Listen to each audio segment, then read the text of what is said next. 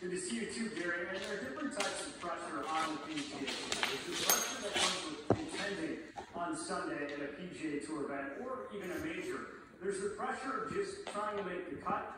And for Charles Schwartzel, this past Friday at the PGA Championship, it was a new type of pressure he had never faced before in his career. That was the pressure to save his job.